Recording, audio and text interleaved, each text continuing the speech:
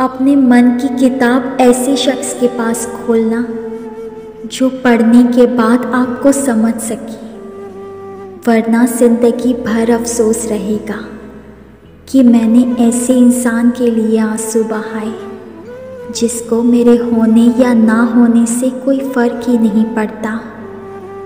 शुरुआत तो सबकी खूबसूरत होती है, मसला तो अंत तक साथ निभाने का है।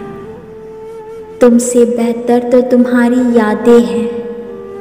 याद तो आती है पर रुलाती बहुत है।